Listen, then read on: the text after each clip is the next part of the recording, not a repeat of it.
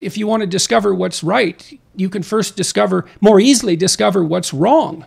Uh, look, I think that's partly why we like anti heroes in, in movies and in fiction.